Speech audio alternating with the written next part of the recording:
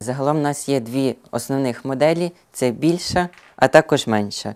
Більша може е, нести приблизно 2,5-3 кг вибухової маси, менша ж може нести до 1,5 кг. Ця може на меншу відстань, щоб використати максимально ресурс акумулятора.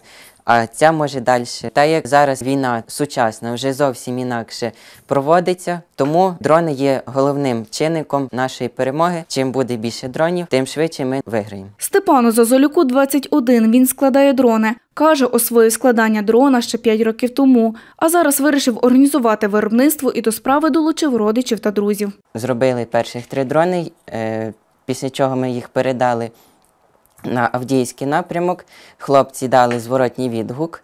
Деякі були поправки. Ми їх несли в наступній партії з 10 дронів. Після того ми ще раз передали. І так пішло, поїхало. В принципі, за січень місяць ми більше 60 дронів склали, за лютий вже більше 70. Деякі нюанси, щоб ті всі деталі подружити між собою. А зараз важкість в тому, що щоб виходити на нормальні кількості, потрібно знаходити фінансування і ну, немалі гроші, адже один дрон приблизно 500 доларів. Степан розповідає, аби зробити 10 дронів, їм потрібно 4 дні. Можна прошити його як бомбер, е, тоді він ну, буде так, якби в одну сторону повністю працювати.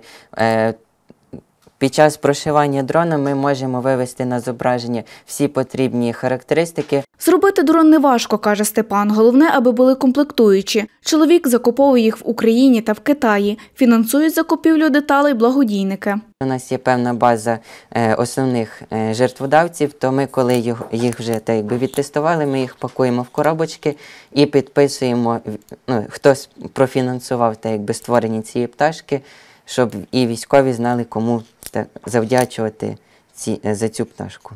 За словами Степана Зазоляка, коли дрон готовий, його випробовують, а тоді передають на фронт. Там безпілотники налаштовують вже самі військові.